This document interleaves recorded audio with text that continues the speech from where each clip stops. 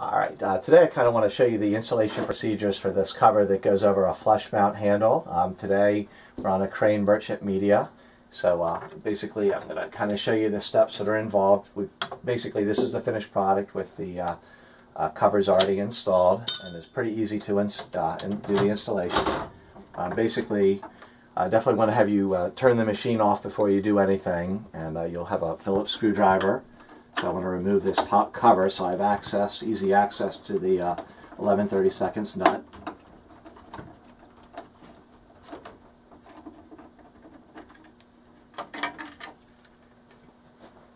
Alright, and so now I can uh, disconnect these two wiring harnesses right here.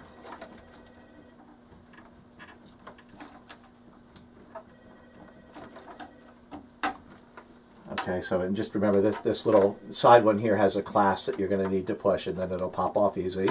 But once that's done, it gives you very e easy access to the nuts.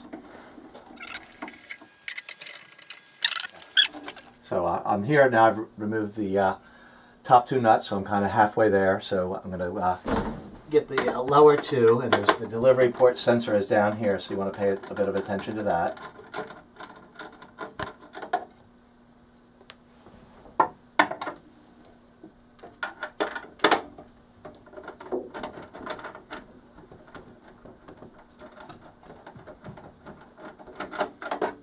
Alright, so I've re removed the four nuts, and when you want to pull this out straight, there's going to be uh, two sets, two washers, uh, uh, spacers up here, so I want to be careful that uh, when I remove it, they don't fall on the floor.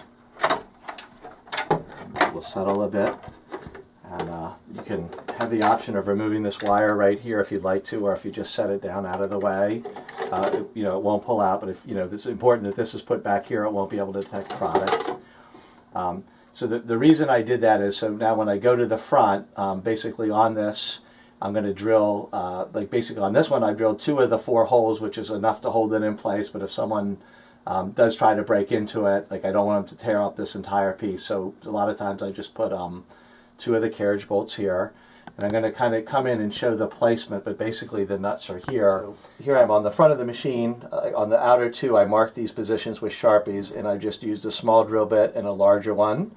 And then basically, so I have my placement of these two holes. And then what I do, I, I um, put the carriage bolt in, and with an open-end wrench, basically, I'm going to twist the carriage bolt and hold the nut. And then at the end, I basically just tighten up the nut um, and the important thing with the kit, it's going to come with two basic washers. Um, you could put in larger washers if you want, but we kind of want to just go with the basic washers. Typically will be enough surface area just so that you know the hasp is not easily uh, pulled off of the machine. And basically, uh, so and I'll, I'll kind of zoom in here. I'll have pictures of this at the end of the video uh, to, to, kind of show the placement of these nuts right here. Uh, but you will have to look up here because this, this place, this is going to kind of hide the placement of the uh, nuts.